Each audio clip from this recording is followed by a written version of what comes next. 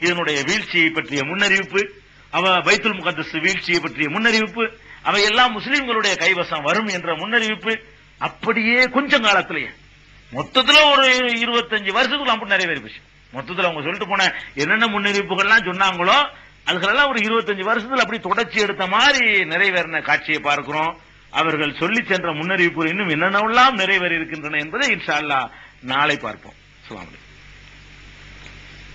அப்படி விட்டுலாம் வரகாத்து அன்பிற்குரிய எல்லாம் வல்ல அல்லாஹுவின் நல்லடியார்களே நபிகள் நாயகம் ஸல்லல்லாஹு செல்லம் அவர்கள் செய்துவிட்டு சென்ற சில முன்னறிவிப்புகள் அவர்கள் மரணத்திற்கு பிறகு சஹாபாக்கள் காலத்திலேயே நிறைவேறி இருக்கின்ற அதிசயத்தை நேற்றைய தினம் நாம் அறிந்தோம். அதன் தொடர்ச்சியாக நபிகள் நாயகம் சல்லா அலி செல்லம் சொன்ன ஒரு முன்னறிவிப்பை பாருங்கள். ஹப்பா ஹப்பாப் அரத் ஒரு நபி தோழர். ஆரம்ப கால முஸ்லீம்களில் ஒருவர். அவர் வந்து நபிகள் நாயகம் சல்லா அலிஸ்லாம் அவர்கள் மக்காவில் இருந்த காலத்துல. எப்ப சொல்றாருன்னு கேட்டா மக்காவில் ரசூல் சல்லா அலிஸ்லாம் இருந்த காலம். எப்படி காலம்னு உங்களுக்கு தெரியும். மக்காவில் இருந்த காலம்னா வாயை திறக்க இயலாது. இஸ்லாத்தை பேச இயலாது. பேசினா அடி பிரச்சாரம் பண்ண அடி. நம்ம முஸ்லீமா வாழ்ந்தாலே அடி. என்று இருந்த ஒரு காலம். ரொம்ப சித்திரவதையும் சின்னாபின்னப்படுத்துறதுமாக நடந்து கொண்டிருந்த ஒரு காலம். அப்ப ஹப்பாபிபின் அறத்தவர்கள் அவர்கள் நபிகள் நாயகம் சல்லா அலிஸ்லம் அவர்கள்ட்ட முறையிடுறார். அல்லாஹ்வுடைய தூதரே என்ன இவ்வளவு அநியாயம் பண்றாங்க? இதுக்கு ஒரு விடிவே கிடையாதா? இஸ்லாத்தை ஏத்துக்கிட்டதுக்காக வேண்டி ரொம்ப சூடுபடப்பட்டவர் இவர். ரொம்ப துன்புறுத்தலுக்கு ஆளாக்கப்பட்டவர் ஹப்பாபிபின் இப்னுல் அரத் ரலியல்லாஹு அவர் வந்து ரசுல்லாட்ட வந்து முறையிடுறார். எல்லாவுடைய தூதரே நீங்க அல்லாட்ட துவாவாவது செய்யுங்களேன் இது ஒரு மீட்சி கடைகள் போட்டு அடிக்கிறாங்களே தாங்க முடியலையே என்று அவர் புலம்புகிறார். அப்ப நபிசல்லா அலிசல்லாம் அவங்க சொல்றாங்க இதுக்கு வந்து நீங்க இப்படி பண்றீங்களே உங்களுக்கு முந்தி உள்ள சமுதாயம்லாம் என்ன பாடுபடுச்சு உங்களுக்கு தெரியுமா? சொல்றாங்க அவருக்கு அவர் துவாசையை சொல்றாரு. நபிகள் நாயகம் ஸல்லல்லாஹு சொல்றாங்க உங்களுக்கு முன்னர் வாழ்ந்த சமுதாயம் எல்லாம் எந்த மாதிரி எல்லாம் வந்து பூமியில குழி தோண்டி வச்சு மண்ணுக்குள்ள புதைச்சிருவாங்க? புதைச்சு அங்கிருந்து ஓட முடியாம ஆக்கிவிட்டு இரும்புனால ஒரு சீப்பு எடுத்துட்டு வந்து அதை வச்சுக்கிட்டு மூஞ்சி கிழிச்சு கிழிச்சு எடுப்பாங்க ரத்தம் வடியும். இப்படியெல்லாம் ஏகத்துவ கொள்கை சொன்னதுக்காக வேண்டி சித்திரவதைப்படுத்திருக்கிறாங்களே அதெல்லாம் உங்களுக்கு தெரியாதா? என்ன பெரிய விஷயம் நினைச்சிட்டு இருக்கிறவங்களை அடிக்கிறது பெருசா தெரியுதா? இந்த அடி உதையெல்லாம் பயங்கரமான துன்பம் நினைச்சிட்டு இருக்கிறீங்களா? என்று பெருமானார் ஸல்லல்லாஹு அலைஹி வஸல்லம் சொல்றாங்க. எலும்பு தெரிகிற அளவுக்கு சதையை பிச்சு எடுத்தாங்க. எலும்பு தெரிகிற அளவுக்கு சதையை பிச்சு பிச்சு மண்ணுக்குள்ள பாதையை புதைச்சி வச்சுக்கிட்டு கிழிச்சு கிழிச்சு ஓட- ஓடக்கூடாதுங்கிறதுக்காக வேண்டி.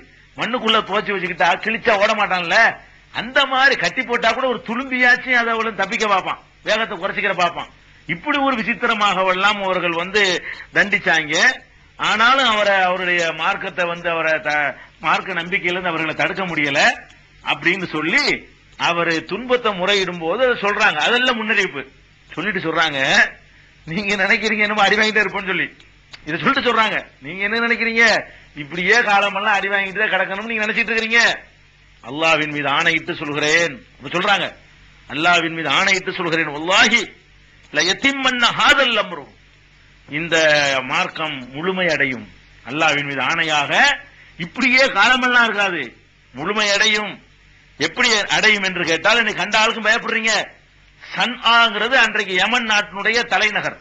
சன் ஆ என்பது வந்து யமன் தலைநகரா இருந்தது. அங்க இருந்து அந்த ஆபரகாங்கிறவன் அஹ், காபத்துல்லாவை இடிக்கிறதுக்காக யானைப்பட கொண்டு வந்தவன். சன்னாங்கிற ஊர்ல இருந்து. அதை சொல்லி காட்டுறான். ரொம்ப தூரத்துல உள்ளது. அப்ப சன்னா என்ற ஊர்ல இருந்து ஹலரமௌத்து ஊர் வரைக்கும் அல்லாவை பய அல்லாவை தவிர யாருக்கும் பயப்படாமல் பயணிக்கிற நே- பயணிக்கும் அளவுக்கு இந்த மார்க்கம் முழுமை பெறும். இன்னைக்கு என்னமோ அல்லாஹ் சொல்லி பயந்துகிட்டு இருக்கிறீங்க. சன்னாவுல ஆரம்பிச்சது ஹலரமௌத்து வரைக்கும் தனியா ஒருத்தன் வந்து அல்லாஹ் மட்டும் பயந்து ப- பயப்பட்டுக்கிட்டு வேற எவனுக்கு பயப்படாம எந்த நம்பிக்கையும் இல்லாம போவான். எவனும் தடுக்க முடியாது. இப்ப உங்களை அடிக்கிறாங்களே அதெல்லாம் அப்ப முடியாது.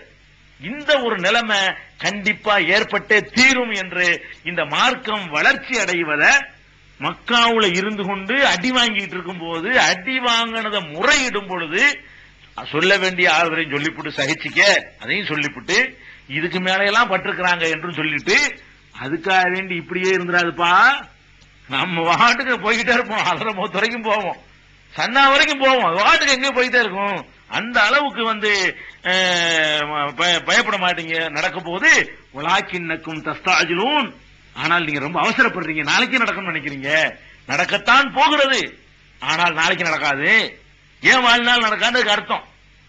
சொன்னாங்களே அப்ப அதுக்கு பிறகு வந்து உமர் இல்லாண்டு காலத்துல சன்னாவுலாம் இவங்க கைக்கு வந்து சன்னாவுல இருந்து ஹதரமௌத் வரைக்கும் போகக்கூடிய அந்த அற்புத அதிசயம் நிகழ்ந்ததா இல்லையா? அல்லாஹ் மட்டுமே இந்த இந்த மார்க்கத்தை பின்பற்றக்கூடியவன். ஊருக்குள்ள இருக்க முடியாத நிலைமை. பிறகு என்னன்னா பயம் இல்லாமல் எங்க வேணாலும் இந்த மார்க்கத்தை சொல்லக்கூடிய அளவுக்கு இம்மார்க்கம் முழுமை அடையும் அதுக்கு பிறகு உலகத்துல இஸ்லாத்துல சொன்னதுக்காக வேண்டி எவனும் தடுக்க இயலாது உலகம் பூரா எப்படி முழுமையா இருக்குன்னு கேட்டா இஸ்லாத்தை சொல்வதற்காக வேண்டியெல்லாம் தடுக்க இயலாது. இஸ்லாத்துக்கு எதிராக போர் செய்யறவங்க கூட இஸ்லாம் நல்ல மார்க்கம் சொல்லிட்டு தான் போர் செய்யணும். என்ற அளவுக்கு வந்து இந்த மார்க்கத்தை வந்து எல்லாம் முழுமையாக்கி இருக்கிறான.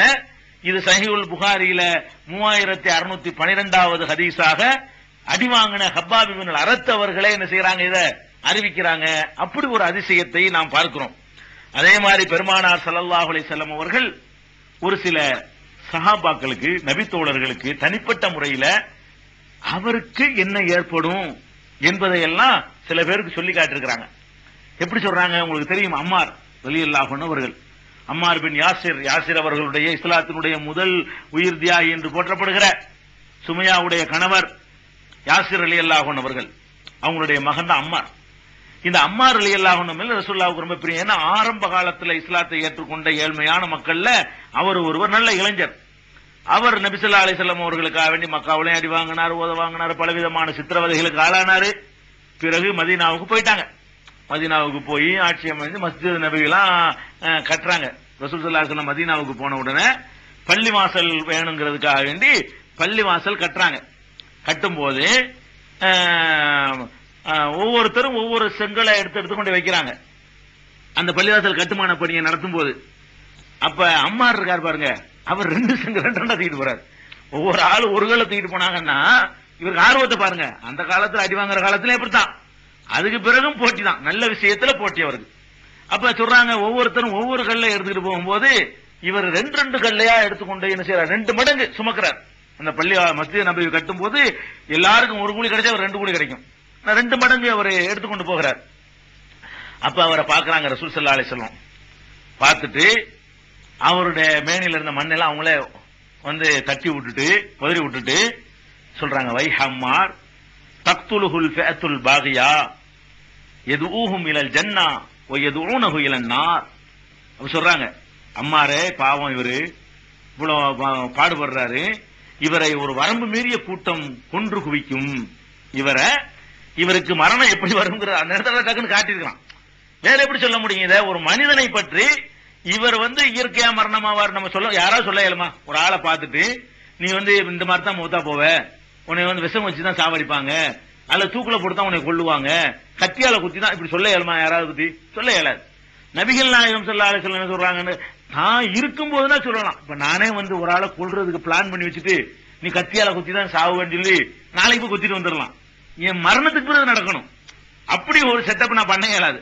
அப்ப நபிகள் நாயகம் சல்லா அலைஹி அவர்கள் இந்த அம்மாறு படுற கஷ்டத்தை பார்த்துட்டு சொல்றாங்க.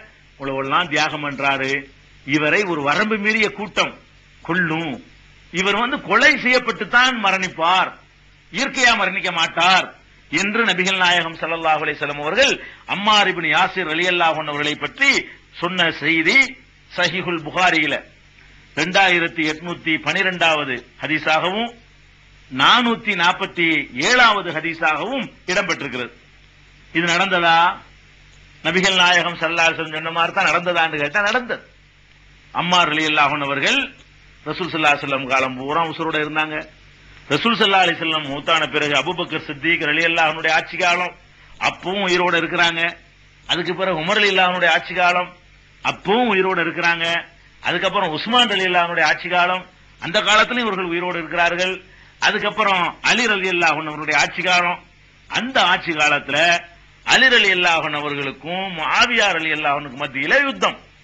சஹாபாக்களுக்கு மத்தியில இஸ்லாமிய வரலாற்றுல ஒரு தீர சம்பவம் நடக்கக்கூடாத ஒன்று. அப்ப ஒரு ஆட்சி இருக்கும்போது எதிராக புரட்சி பண்ணி அவர் ஒரு பழைய திரட்டிட்டு வந்து யுத்தம் நடக்குது. அந்த யுத்தத்துல வந்து அதாவது அம்மார் அலி அல்லாஹன் அவர்கள் வந்து அலிர் அலி அல்லாஹனுடைய அணியில் இருக்கிறாங்க. அப்ப மாவியார் இல்லாதவருடைய இந்த இந்த படையினர் தான் அம்மா அரிபணி ஆசிரியர் இல்லாதவர்கள் அந்த அந்த போர்ல கொண்டுடுறாங்க அப்ப வரம்பு மீறிய கூட்டம் கொள்ளுவாங்கன்னு சொன்ன மாதிரி அது அது இதை வச்சு தான் அந்த அதுல நியாயம் யார் பக்கங்கிற முடிவை கூட அறிஞர்கள் எடுக்கிறாங்க. அதாவது அவ- மாவியா செஞ்சது தப்பா இருந்தா அது ஒரு போர் செஞ்சது அவருக்கு அல்லாவுக்குள்ள விஷயமா இருந்தாலும் அது அல்லாஹ் தான் ஜட்ஜ்மெண்ட் பண்ணும் அவருடைய பாவத்தை